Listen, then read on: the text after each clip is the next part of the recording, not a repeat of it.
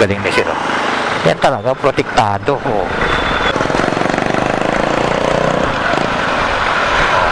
allowed naman siya kasi abot naman niya ng pa yung ano, yung apakan. So, allowed siya na umangkas. Ang maganda lang kay sir, talagang nag-provide siya ng protection pa, extra protection para sa kanyang anak. Galing. Thumbs up sa'yo sir.